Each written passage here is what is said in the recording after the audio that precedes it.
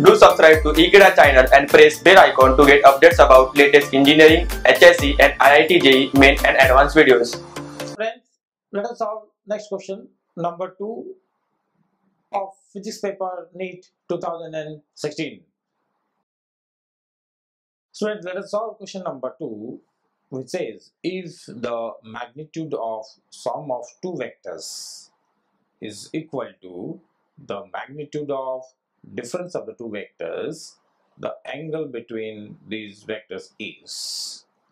That means the if the magnitude of the sum of two vectors, if I have a vector say A and a vector suppose B, they need not have same magnitudes. But if I have a vector A and vector B as two any individual vectors, then it says that if the sum of the two vectors A plus B vector, the magnitude of the sum of the two vectors like this is equal to the magnitude of the difference of the two vectors. So this is the given condition, this is given. If this is given, then you have to find the angle between these vectors. Theta you have to find.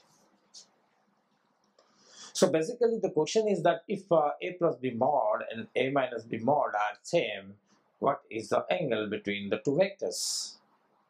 If I think uh, in general without mathematics, if I think of a general concept, I know that if I have any vector say a and any vector b, so if I take uh, particularly vector a in this direction and vector b in this direction, then a plus b will be in this direction. And similarly a minus b will be in this direction and the angle will be 90 degree. Because I know that if uh, I keep one vector same and this is my b vector then this will be minus b vector. Then the sum of these a plus b will be in this direction and uh, the same amount it will be here mirror image. And obviously the angle between them if, if the magnitudes are same obviously in this case the magnitude will be same. Then the angle between the two vectors first two vectors will be 90 degree. And in that case only it will be same I have to keep the magnitude same. To keep the magnitude same I have to keep this same. And to keep the magnitude same I have to keep this same. So the, only the sign is reversed otherwise this length will remain same. So this is possible only when the angle between the two vectors is 90 degree. Anyway if I geometrically this uh, is more intuitive otherwise uh, if I consider one vector here another vector in any direction another vector in any direction suppose here that this is a this is b suppose this is any angle theta then a plus b will be something like that. And uh, a minus b you can see here this is a minus b vector then uh, it will be something like that so it can you can clearly see that it's not actually matching or they're not equal. So this condition is never going to satisfy. Mathematically how will you prove this? So this is all about your your intuition but uh, what about this uh, a plus b and a minus b are same.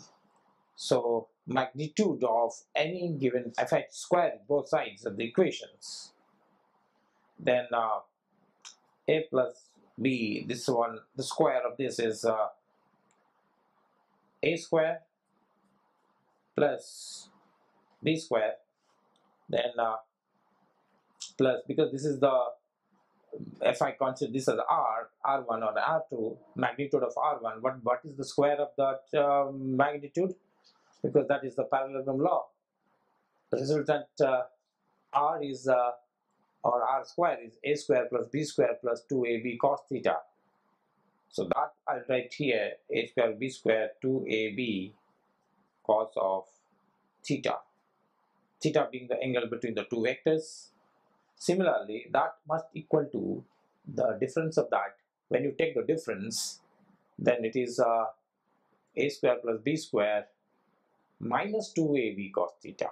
Because that is uh, 180 cos 180 minus theta when you talk about cos 180 minus theta that is uh, cos is in the second quadrant and uh, being negative that uh, minus 2ab factor will come. So therefore this will become a square plus b square minus of 2ab cos of theta. If I solve this uh, I will get this implies a square uh, plus b square will cancel out from both sides. This one will go to the other side. And this will become 4ab cos theta. And this side it will be 0 if this side is 0 then uh, I'll write that 4 is never 0 magnitudes are not 0 that means uh, cos theta is 0 if cos theta is 0 we know that cos of uh, 90 is 0 if cos of 90 is 0 then I can write that cos theta theta must be equal to 90 degree. Theta must be 90 degree. So therefore uh, this is the right answer to this question. Okay? Thank you